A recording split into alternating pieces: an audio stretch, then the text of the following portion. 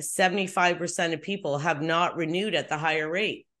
Yeah. 75%, It's a huge number.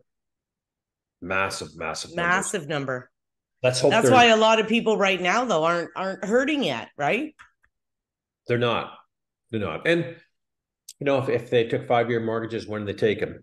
2019. It could be an okay. The market wasn't bananas then. They could be okay. We may not see uh, uh, you know some, but some limit of you know I think the pain is kind of over for that variable product today. For people, I think they can relax a bit because I don't think it's going anywhere. And I know Well, the, the- the the other problem though that I saw happen during COVID, um, the mortgage people, all they were doing were refis. They were refinancing and pulling money out of their house to build their pool or to upgrade the house because they were stuck in it all the time now, and the values were so high. Yeah. Everybody was pulling money out. yeah, banks are